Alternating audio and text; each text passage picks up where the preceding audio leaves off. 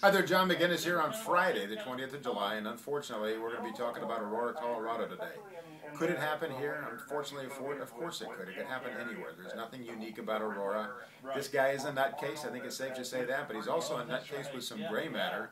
And we want to talk about the exact threat he posed to the safety of the people there. Obviously, 71 people shot at his hand, 12 didn't survive. But if you're looking for a silver lining to this otherwise very dark cloud, look at the people that stepped up and responded with extraordinary bravery and ran to that gunfire in order to protect uh, other human beings. And then the medical staff that uh, did a great job and probably uh, did a lot to neutralize the effects. Sad topic, but we're going to talk about it right here on FM News Talk 92.5 and AM 1530 today.